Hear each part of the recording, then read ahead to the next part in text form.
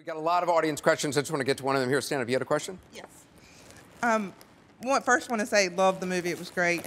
And my question is, when you have downtime, what is your favorite thing to do? When I have downtime, um, Do you have downtime? yeah, sometimes Uh-huh. between midnight and two.